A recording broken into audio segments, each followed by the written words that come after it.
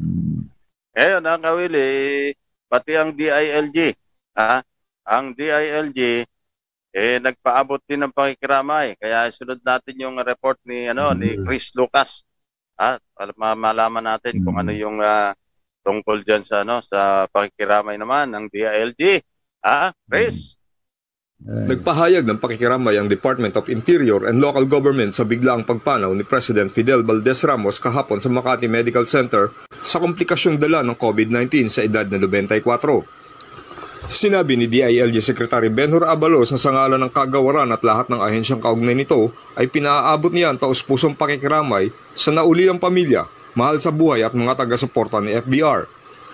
Dagdag pa ni Abalos na ang legasiya ni FBR sa good governance ay mananatiling liwanag na siya namang magsisilbing tanglaw at inspirasyon sa kanilang layunin na makapagatid ng pinakamataas na antas ng serbisyo publiko sa sambayan ng Pilipino.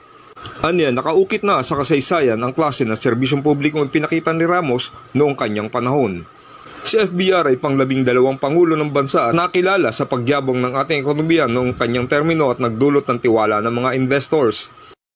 Matatandaan na siya ay tinuring na bayani ng EDSA People Power Revolution nang siya ay tumiwalag kay Pangulong Ferdinand Edralin Marcos at kumampi kalaunan kay Pangulong Corazon Aquino.